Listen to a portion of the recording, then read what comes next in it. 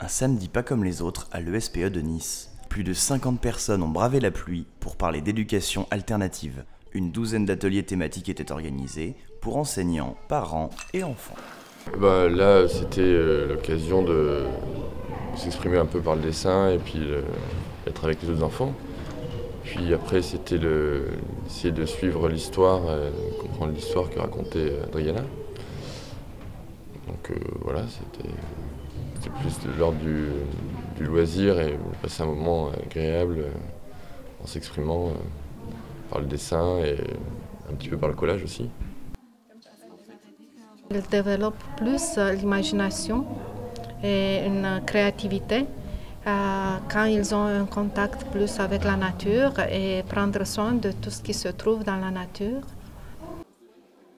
Les gens sont de plus en plus euh, intéressés euh, surtout à changer l'éducation, la, forme de l'éducation. Je ne sais pas si vers une éducation alternative, je, souhaite, mais je ne sais pas, chacun est libre de choisir en effet la forme de l'éducation qu'il peut donner à, son enfant. Penser le repas comme un moment privilégié, c'est aussi un principe d'éducation. Des légumes bio, préparés par l'association La Manu Fabrique, étaient proposés à chacun à prix libre. Tous réunis pour penser l'école, puis chacun mobilisé pour faire sa vaisselle. Lors des ateliers débats, les enseignants des écoles Montessori, Steiner-Waldorf et Freinet étaient présents pour témoigner de leurs pratiques.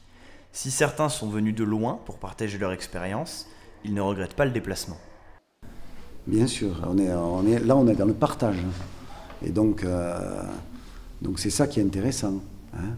Donc on, fait des ateliers, puis après on met en commun, on discute. C'est un petit peu ça qu'on fait dans les classes hein, tous les jours. Quoi. On travaille de son côté, tout seul ou en groupe. Après, on met en commun, on partage, on, essaie d'élaborer quelque chose, et puis après, on repart, etc. Donc, c'est tout à fait la méthode de travail.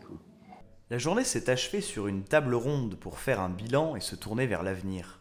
Une seconde édition est déjà espérée, elle pourrait avoir lieu en janvier 2015.